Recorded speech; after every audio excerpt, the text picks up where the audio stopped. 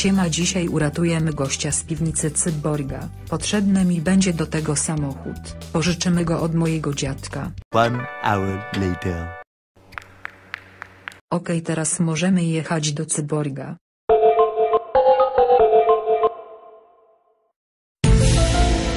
Dziadku to nie to co myślisz.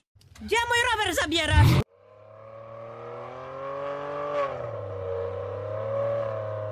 Jaki piękny dzień. Co jest kur? Przybyłam cię uratować. Po co? Jest mi tu dobrze. Jak to? To ja tu zostaję.